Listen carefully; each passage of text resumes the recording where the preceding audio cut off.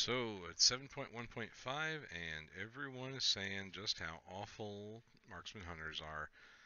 And the stats kind of show it.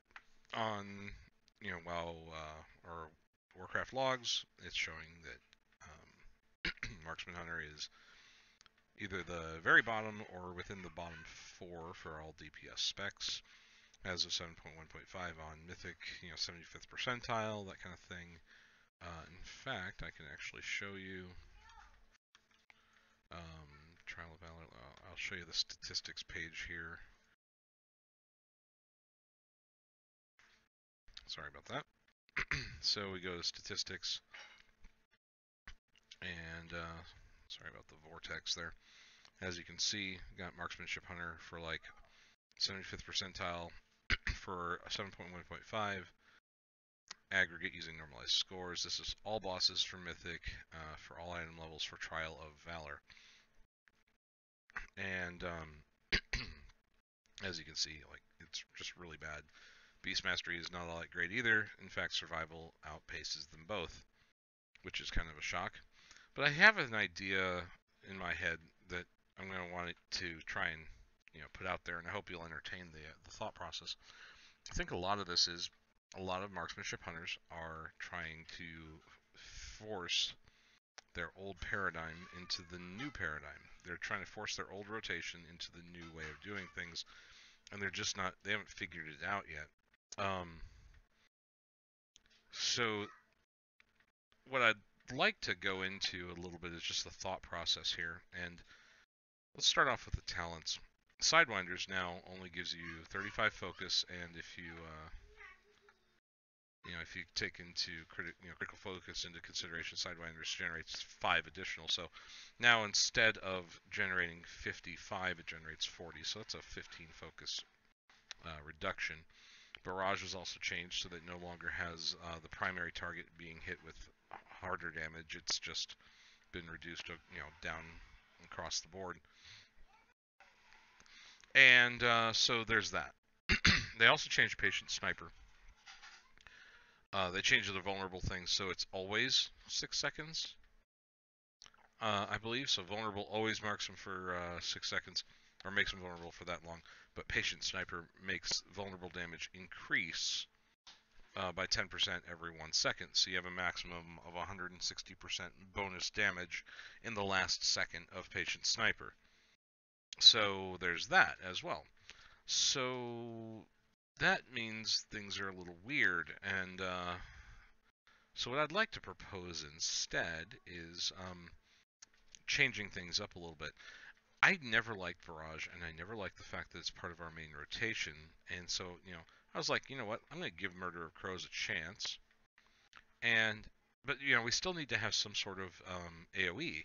Now, Sidewinders is not good for AoE uh, because you have the charges on it you know, only two charges and they recharge every, in my case, 10.1 seconds with my haste. It's down from 12, you know, the base is 12. Trick shot itself is the default way to go here, I think, when it comes right down to it. This has a hidden AoE in it that a lot of people don't realize is that aim shot will now also ricochet and hit all vulnerable targets for 30% of normal damage. If there are no other vulnerable targets, the damage of your next aim shot sorry, is increased by 15%. So on single target fights, it's good. On multi-target fights, it's fine. In fact, it's a little better. Uh, so because it ricochets and hits everything that's vulnerable, right? And if it's vulnerable and you have patient sniper and it's the last second of patient sniper, you're hitting for 160% bonus damage. That brings lock and load into consideration. What do we do with this? Now, I tried with true aim, um, and you know this is good for a fight like Guarm. I think you're doing 20% bonus damage, you know, 2% stacking up to 10 times, limit one target. But on any fight where you're having to switch targets a lot, like Odin is a good example, heroic Odin and above, where you have like Helya coming in in phase two, and you have to target switch all the time with the rune shapers and all that probably not a good idea. And also, I considered the fact that lock and load, uh, you can fit more uh, aim shots into a vulnerable window when you have lock and load procs. And if you can do that, that means like you know you have a good chance of your last aim shot of the vulnerable window hitting just at the last second of it and getting that nice crispy 160% bonus damage. So I'm thinking lock and load is the way to go. I'm just thinking my way through this, you know, talking my way through this thing here. Um, you still want Lone Wolf because steady focus. Um, you're never going to really do, be doing many arcane shots in a row, you know, two in a row. Uh, careful aim. You know, it's it's just you know the top 80%. You know, and that's kind of that's kind of crappy. Um, I like to have the bonus all across the board and not have to worry about managing a pet. So those three changes, or those three talents, you know, lock and load we're going to keep, patient sniper we're going to keep, uh, barrage we're going to try out murder of crows. Murder of crows is really nice, especially when you consider um, single target fights or fights where there's adds where you can throw a murder of crows on there. You know it's not going to last more than you know 15 seconds the you know the the, the add is going to go down quick and it'll reset the cooldown so that's always good. Managing that takes a little bit of skill and getting away from barrage so you ha- get away from those accidental uh, fucking pulls it's crazy. I, I i can't wait to get rid of this and ditch it forever.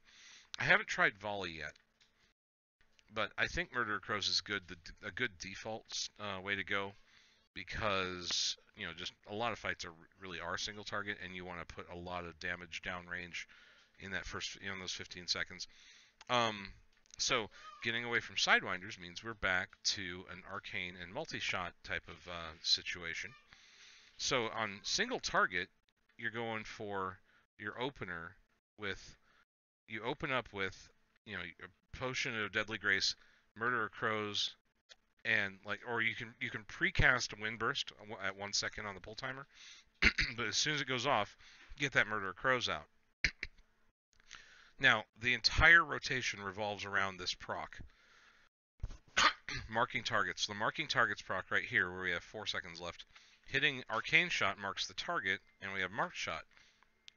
But the marking targets proc seems to happen a lot when you're not marking targets, however, you want to, while vulnerable, while not while dumping focus, you're hitting an aim shot. So, you know, just exiting combat here. What we're going to be wanting to do is, um, you know, in a new rotation, this is going to take some getting used to for a lot of people because, you know, we've gotten used to the Sidewinders rotation. Uh, I'm going to wait for Murder Crows to come off cooldown. So here we go. Uh, you know, Windburst, Murder Crows, Trueshot, and just start, you know, uh, Arcane marked. You see how it's still procced? Arcane marked. You're not hitting that aim shot yet. Arcane marked. You're still marking targets. Arcane marked. Arcane marked. Arcane marked. Arcane. Oh, I got. I have Zevrim's hunger. Hunger. So, Arcane marked. Now, it's not procced, so I'm going to do a couple aim shots, arcane marked, arcane, and then I'm going to hit those, use those uh, charges up, marked, arcane, marked. Make sure I get my Windbursts out because those are really high. Hey, it procced again, arcane, marked. Use up those uh, charges of lock and load, marked, marked, arcane. And now I don't have a marked shot, so I'm going to use up my vulnerable window with two aim shots. Arcane marked. Arcane marked. So I'm watching for the arcane shot procs, the marking target procs.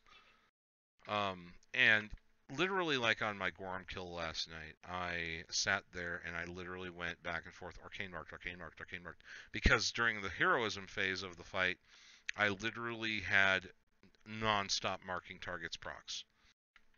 It was kind of crazy, and the, I think the higher your haste is, the more times you're going to have that. Um, and that comes from uh,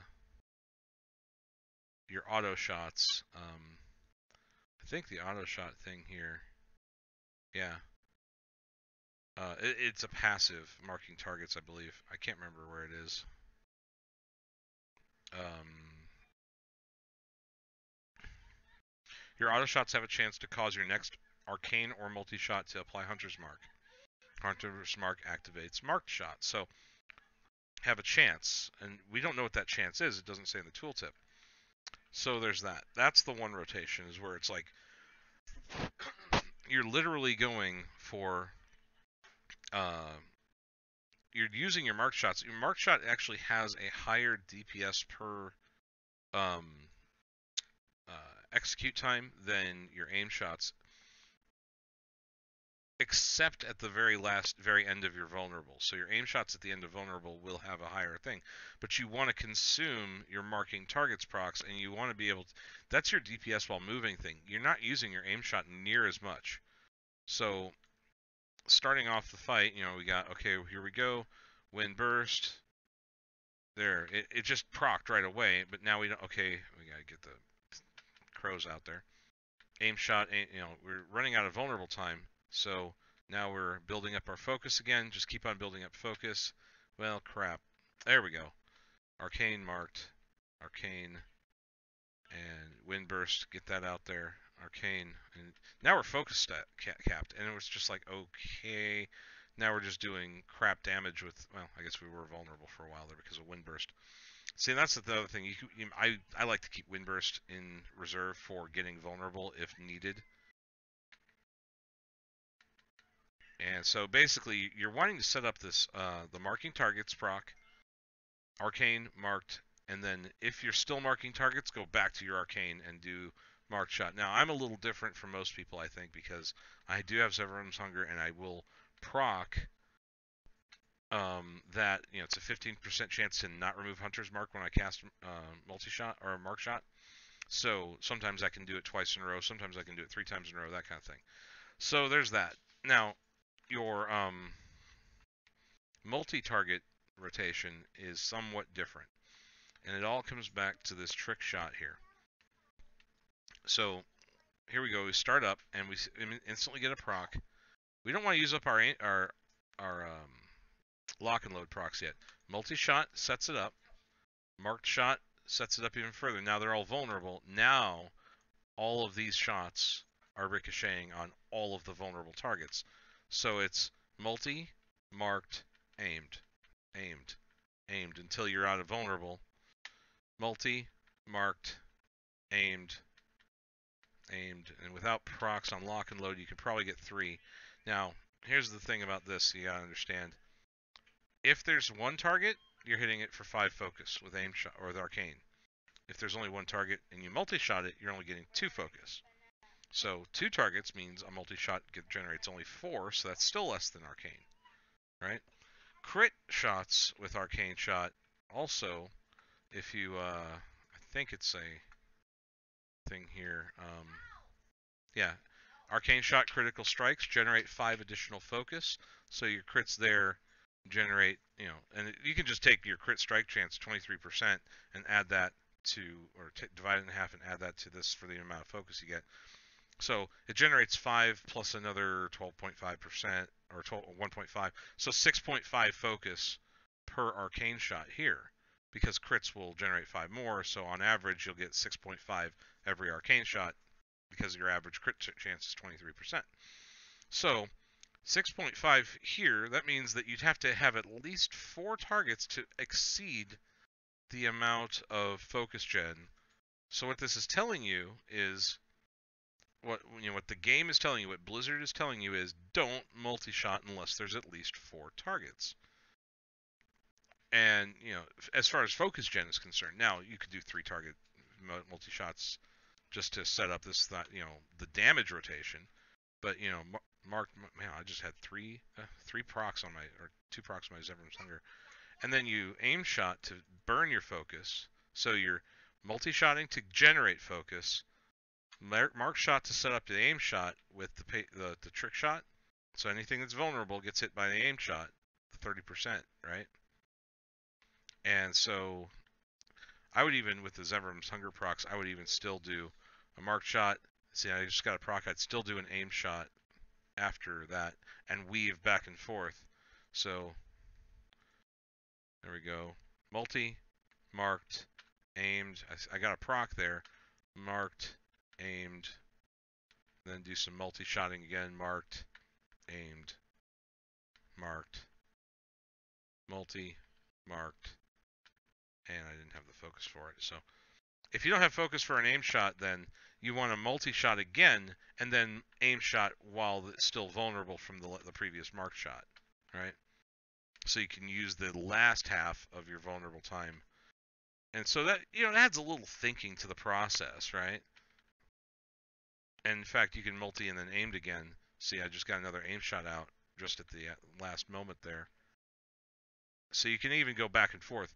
Multi, aimed, marked, aimed, multi, generate focus to get that second aim shot out before the end of the vulnerable window. That seems like a better rotation. But you see how I have it in like a, line here. So five, four, well, no, not vulnerable anymore. Three, four, five to get some focus, then four for another aim before it's done with vulnerable.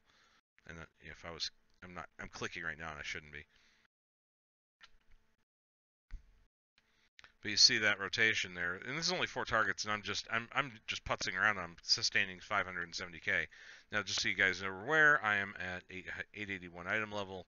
That includes a Bloodthirsty Instinct and Unstable Arcanocrystal. Um, I haven't done any sort of uh, re-simming about like stat weights. Um, I'm not sure if it's worth it for me to get a uh, a uh, plus 200 agility gem yet because you know mastery seems to you know was outweighing agility as you know as far as that was concerned. I probably should get a you know plus 200 agility regardless and just put it into that Zevrim's hunger because that's not going away anytime soon. But um, but yeah, those are your new rotations, and I think that's the reason why you're seeing what you're seeing with this, because people are not putting their new rota- that new rotation into practice. They're trying to use the old rotation that they're used to. At least a good portion of hunters are. Now, are hunters on the top tier? No.